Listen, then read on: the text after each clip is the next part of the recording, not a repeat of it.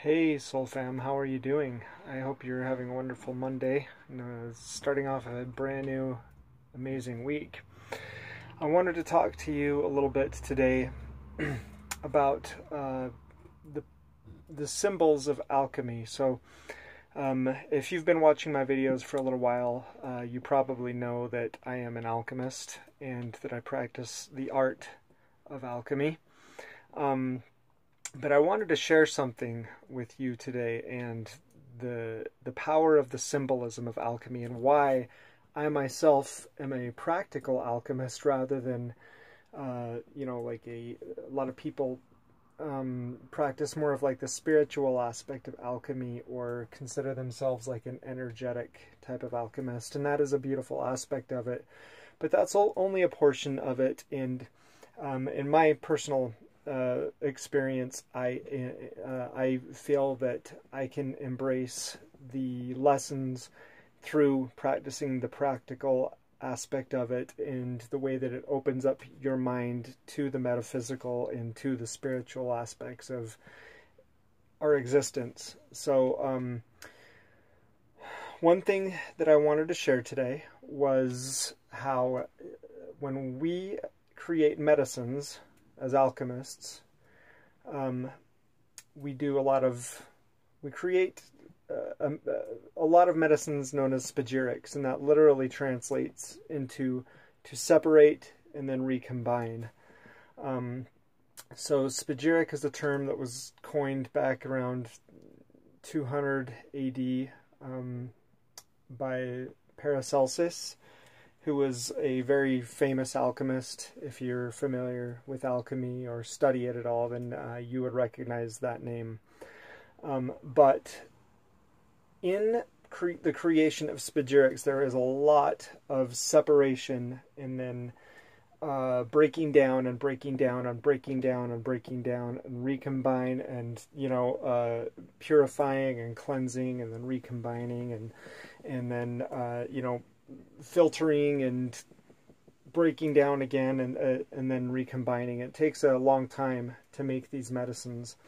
Um, I've spent months and months and months um, on medicines. I've got some that are in process that have been in process process since last December, and they can some of them can take years to create. Uh, if you are looking to create a plant stone or a philosopher's stone, that's going to take you a very, very long period of time, and you have to go through a very strict disciplinary process to build yourself up to be able to create a philosopher's stone.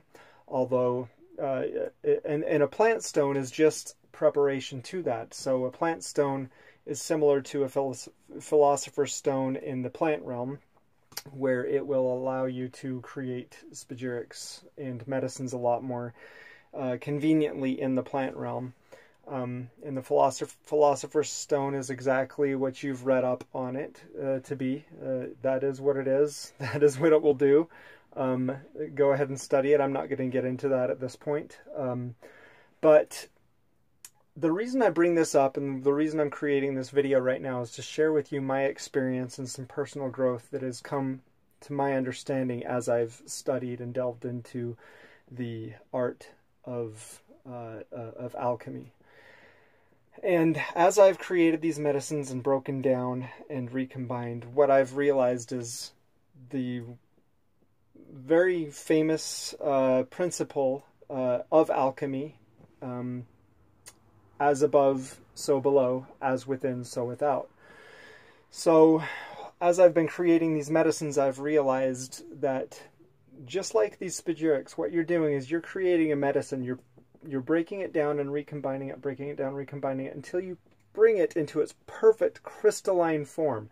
It is the perfect version of itself. So these medicines are significantly more powerful than any medicine you'll find out in, you know, the pharmaceutical world or, you know, um, really, I mean, they're really the most powerful medicines in the world. Um, and you can create them to do really essentially anything you want if you discipline yourself enough to practice the art long enough to understand um, how to create a plant or, or, a medicine to do this or that or the other. Whatever you really want, you actually can do in the art of alchemy. But um, what I'm getting at is that what I've realized is that us ourselves are essentially a spagyric. We're something that is being created as well. And through our lifetimes, we're being uh, uh, separated and then recombined and then separated and then recombined and then separated and then recombined until we reach that perfect crystalline uh, state. Some people are calling it a light body. Some people are calling it uh, what are some other terms I've heard? Your um, uh, your your crystal body or your rainbow body. Uh, but that is exactly what is happening to us as we are being separated and recombined, as we're purging, as we're going through these processes. Um, we are being perfected.